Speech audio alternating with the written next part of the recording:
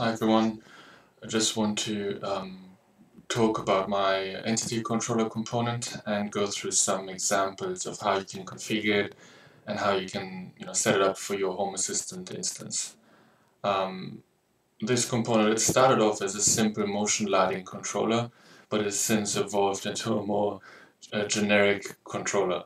So let's have a look at the documentation and I will go through each example um, just to explain it in a video to help people understand it. An entity controller is in one of many different states at any time. Most of the time it will be in idle state and basically it's just observing what is happening and nothing else. Um, it's just observing, you know, waiting for motion sensor input and um, that's all it's doing really. Active is just an implementation detail really, you don't have to worry about it much. Active timer means it has uh, turned on your control entities and it's um, just waiting for the timer to expire. Active stay on. This is for the stay on feature. Someone requested this and they wanted the um, entity controller to just stay on when the timer expires. So rather than turning off all control entities, the uh, controller will just leave them on and go back into idle state. Overridden if you define what's called an override entity, um, and this override entity is switched on, it could be you know just a toggle button in your in your Lovelace configuration here. If that's turned on, your entity controller will go into overridden state, and it won't do it won't act on sensor input basically. Blocked is um, is a little bit different in that if if one of your control entities is already switched on, right, if a light is already on and you get a motion sensor is triggering, in that case entity controller will go into blocked state. And the reason behind this is because um, if your light is already on, the problem of lighting has been taken care of. There's no need for entity controller to do anything about it because the light is already on.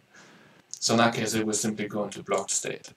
Constrained is uh, you can define start and end times and entity controller will only operate during those times.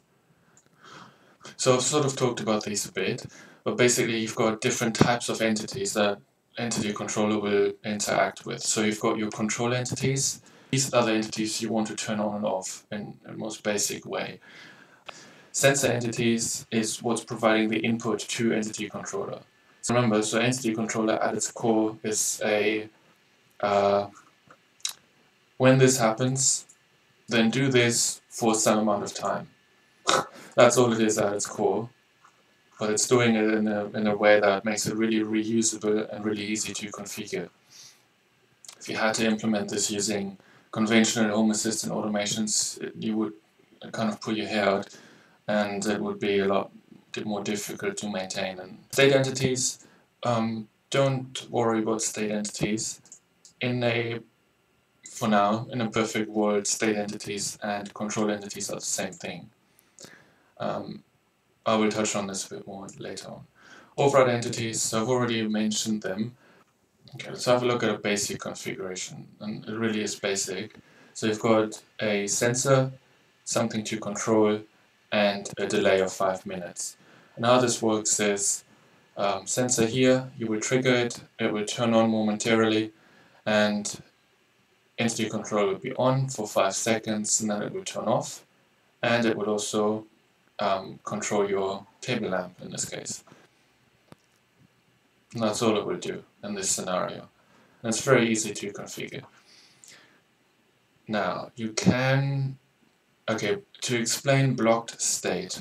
Uh, basically what, what happens, so let's turn on this control entity, trigger motion, and you see controller goes into blocked state.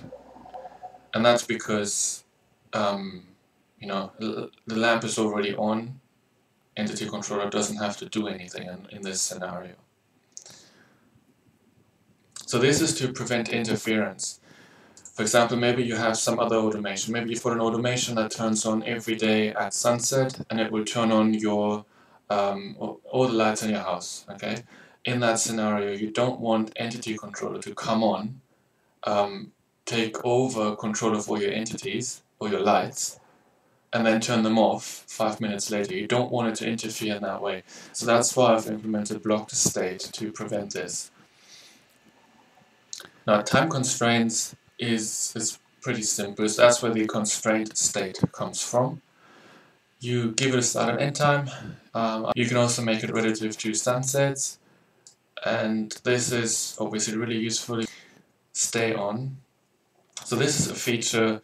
It's quite simple really. When you when your motion is triggered, it will turn on your control entities, but it won't turn them off afterwards. So it will stay on indefinitely until you until you manually turn it off, or until some other automation kicks in to turn it off for you, really.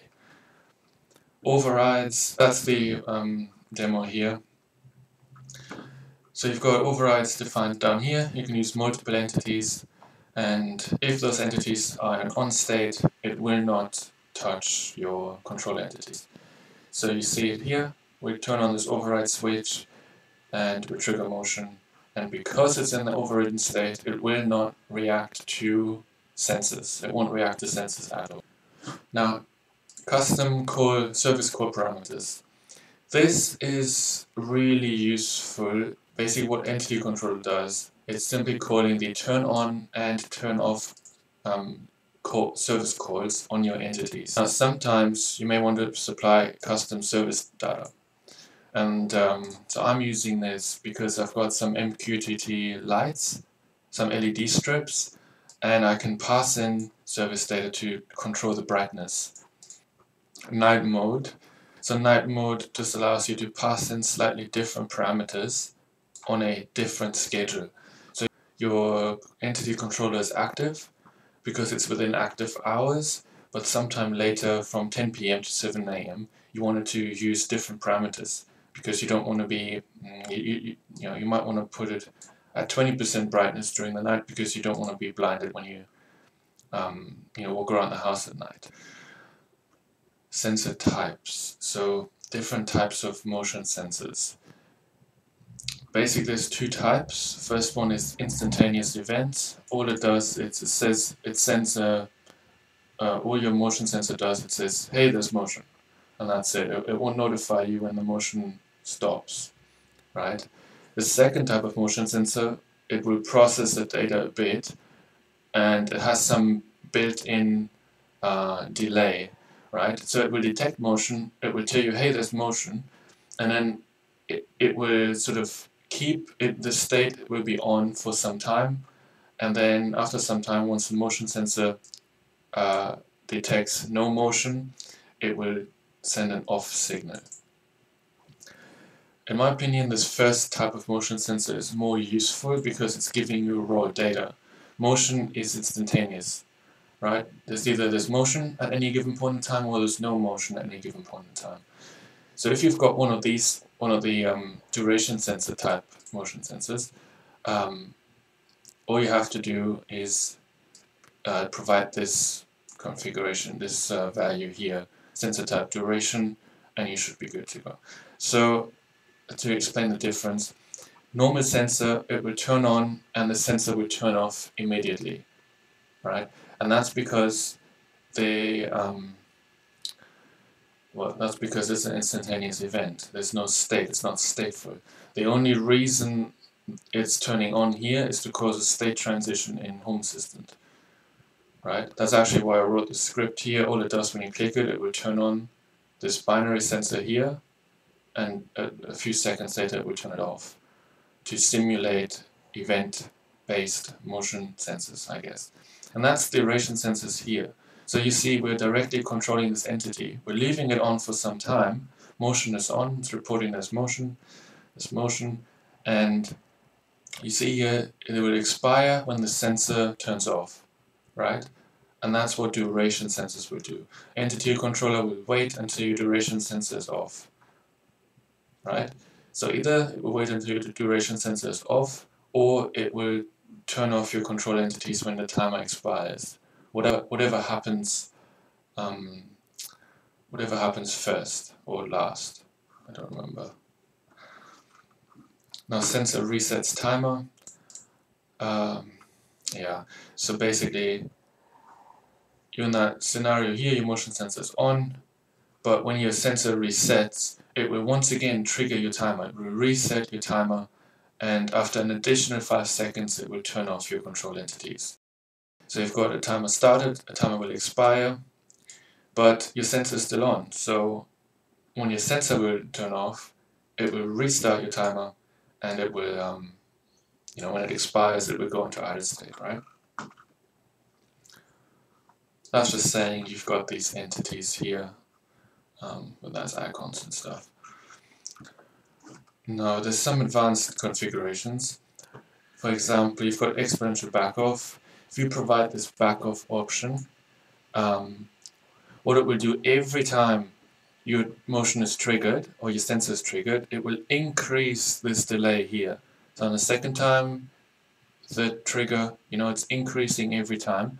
This example, um, I think it's multiplying by 1.5, so the backoff factor is 1.5. Yeah. Um, but you can you can set this too. You can make it 1.1. What all it means is, as the number of triggers increases, your delay will increase much slower. Whereas if you multiply by 1.5 or by 1. Point, or even by 2, every time it will increase by a factor of 2 and it will reset each time. So this is useful if you don't, if there's like a really high traffic area in your house and you and you don't want the um, and maybe like the 30 second delay is way too small because you still get lots of traffic and you know using exponential backoff is a way to I guess reduce the noise or make your make your system less sensitive to this motion because it will take longer to reset. Calling custom scripts. This is a really useful one because um, rather than using control entities, you can actually call custom scripts. And these scripts that you define can do, you know, they can do anything. All, all that um, entity controller will do is turn these scripts on and start running them.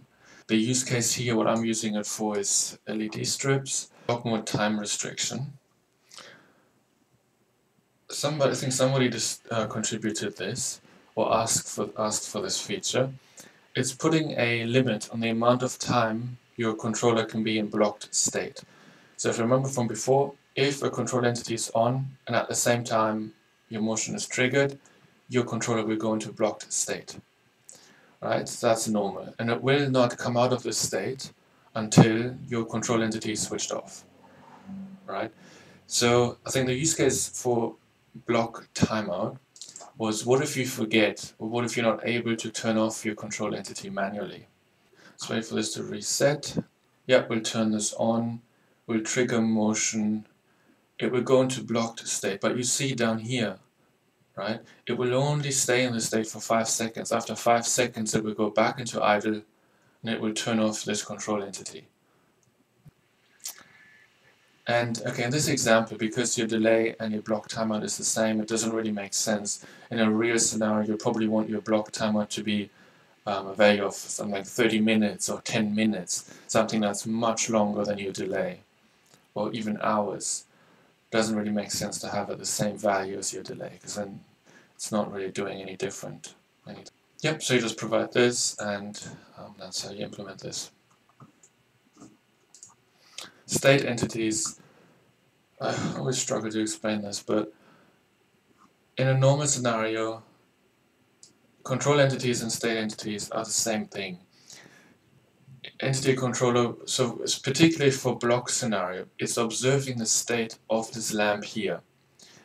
But what if your control entity is something that doesn't have a useful state?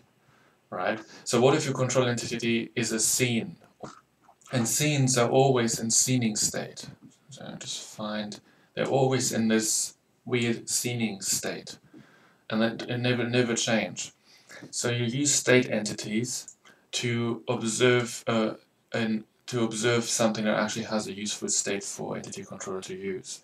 So in this case here I've got a script and I've got a light and because the script doesn't return a useful state I've overridden this and I'll have the controller look at the light only. A different example here is cooking, uh, is uh, scenes. I've got this cooking scene here. basically I've got this template sensor. If that will turn, if that turns on, uh, entity controller will activate the scene.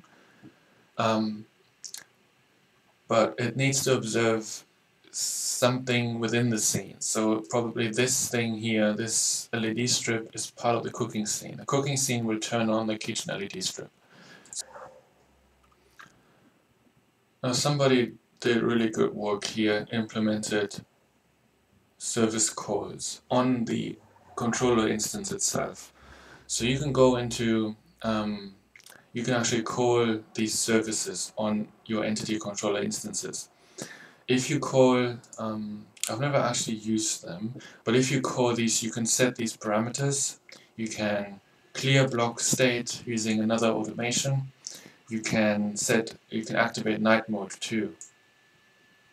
So that would, that's really useful and we will you know build this out a bit more, add more service calls, um, different more support for service calls. This is just the beginning, so it's really good stuff here. Okay, somebody implemented this. They wanted a way. Uh, okay, so by default, any change to your control entity state will count as a manual change, and that means it will enter blocked state.